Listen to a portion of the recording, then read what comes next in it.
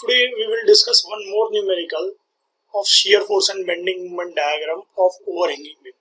This is because of some students have some queries regarding some cases like cantilever beams, like overhanging beams, like simply supported beams. So we are just uh, taking one more numerical and then after in tomorrow's lecture we will start a new chapter. Let us uh, discuss or summarize first of all cantilever beams. Students, you must remember to avoid some confusion that in cantilever beams, both the shear force and bending moment diagrams by our method is going negative, means it is below the x-axis only. In cantilever beam, there is no intersection in shear force diagram with the x-axis or there is no interaction in bending moment diagram with the x-axis. So cantilever beams are comparatively very easier examples. Okay. Coming on to the case number 2. For simply supported beams. In simply supported beams what happens?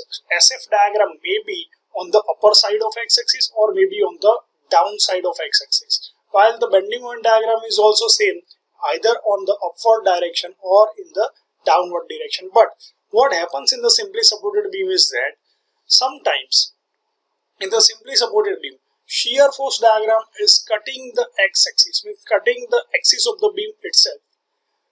At that interval, we are finding the distance x from the nearest point for that particular intersection point. And we know that at that intersection point, the shear force is considered as zero because the point itself lying on the x-axis. And for that particular point, bending moment is maximum while we are calculating the bending moment in the next step. So this is the difference between cantilever beam and simply supported beam. So in the cantilever beam, never intersection occurs in SF diagram or in BM diagram. That is in the 95% of the cases. While in the simply supported beam, intersection occurs only in the SF diagram, not in the BM diagram whenever the intersection occurs at that point bending moment should be maximum in the BM diagram itself. While in the overhanging beam, in the overhanging beam there is an interaction maybe in the SF diagram, maybe in the BM diagram. If there is an intersection point in the SF diagram with the x-axis, then at that particular point bending moment should be maximum as it is. But when the bending when in the bending moment diagram intersection occurs of the diagram with the x-axis, then that point is known as point of contraflexion. Okay, that point is known as point of contraflexion at which the bending moment changes the sign from positive to negative or from negative to positive. This point is known as point of contraflexion. Now, while doing while drawing the bending moment diagram, you must understand that when the beam or portion of the beam is subjected to UDL, then we will draw parabolic curve for the bending moment diagram. Now there is some confusion also in drawing the parabola 2. When bending moment diagram is above the x-axis or the below the x-axis, then how is the shape of the parabola? Means outward parabola, inward parabola, concave parabola, convex parabola. So let us see this queries all such summaries in this numerical 13.14. You can see in this figure, there are two loads, UDL also, point load also. Or you can understand that the UDL entirely on the overhanging portion of the beam. The beam is overhanging from the left side of point B. So there are two support reactions. You can realize the support reaction at B which is RB and the support reaction at D which is RD. The beam in total is 4 meter long as you can see. 1 meter on a 1 meter length from the left corner there is a UDL acting on the beam which is 2 kilonewton per meter. From support B at a distance of 1 meter a point load downward direction acting is 4 kilonewton. Then after at a distance of 2 meter the support reaction at the last end point D is RD. Now what is our target? Our target is to draw the shear force and bending moment diagram and also to locate the point of contraflexion. So let us calculate the support reactions first. For that, as per our usual method, we have to take the moment on the left support only. Remember this, left support only, not the extreme left point of the beam. Okay, on the left support only. So you can see the left support is point B. So starting from the opposite corner, the first reaction is RD and it is going up upward so it will move like this in anti-clockwise direction.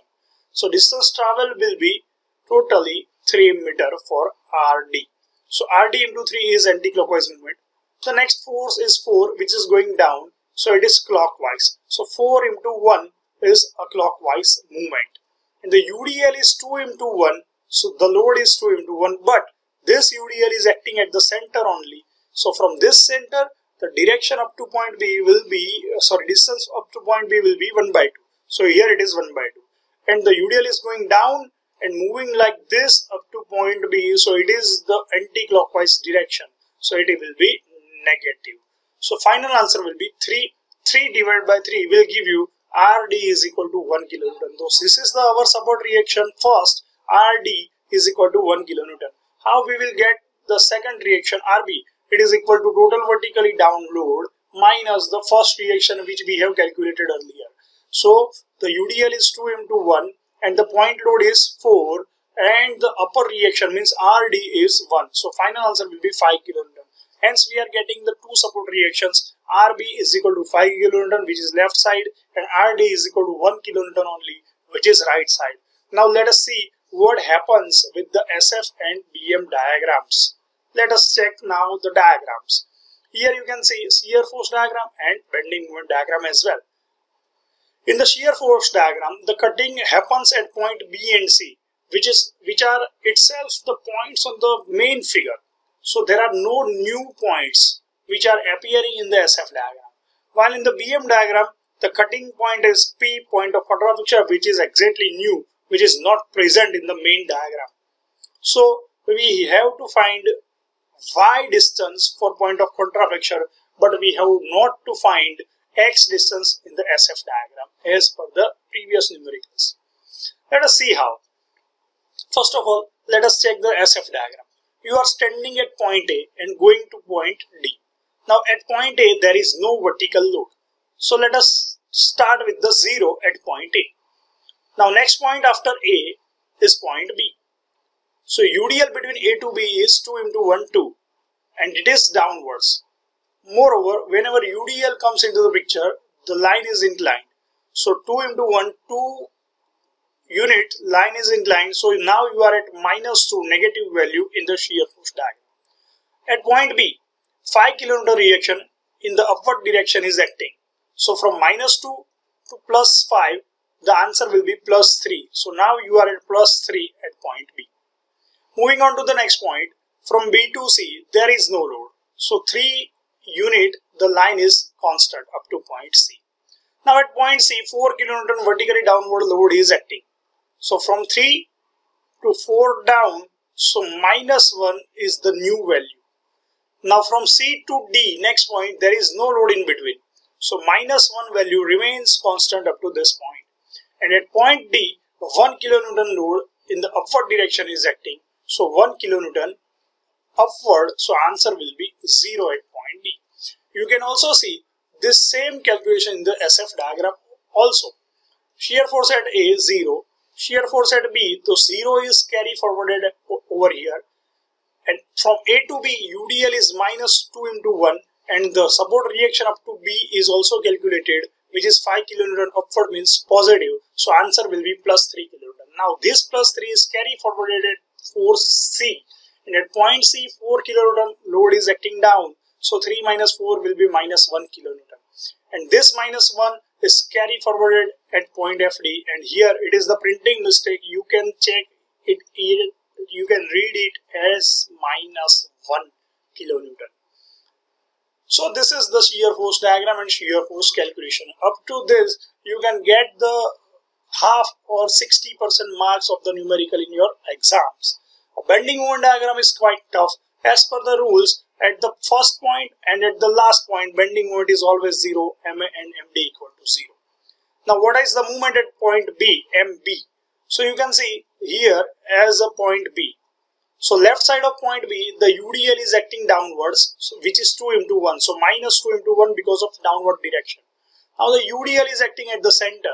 So from this center, the distance up to point B is 0.5, which is to be multiplied with the load. So final movement at point B due to this UDL will be minus 1 kilonewton into meter.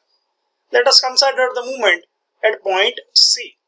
Now you can look from the figure that when we are finding the movement at point C, it is easy to go from point D itself.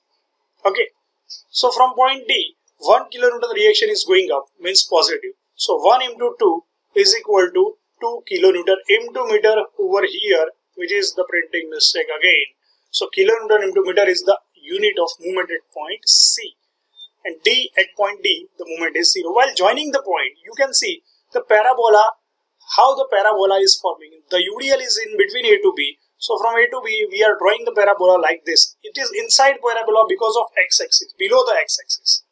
If it is above the x-axis we will draw the outside parabola like this.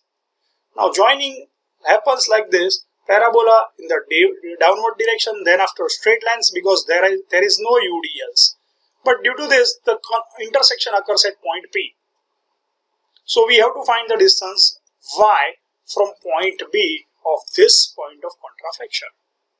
Let us see how.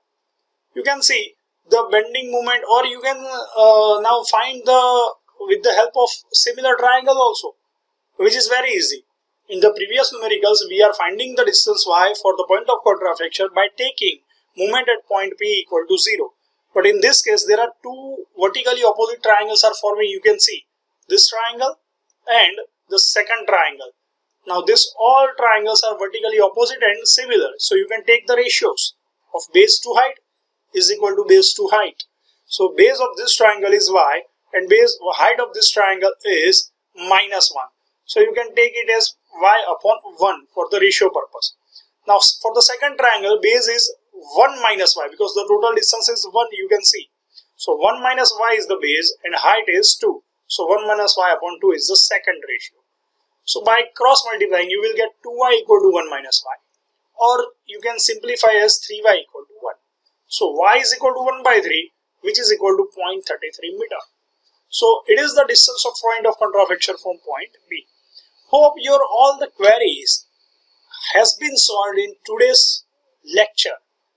If there is further more any queries or any doubts in any of the cases of simply supported beam, cantilever beams or overhanging beams, then you can contact me. But we have to move on and we have to start the next chapter very early due to the syllabus completion criteria. So we are starting the new chapter in the next lecture now we have to close this chapter at here so goodbye student we will meet tomorrow again with the new chapter definitely until then goodbye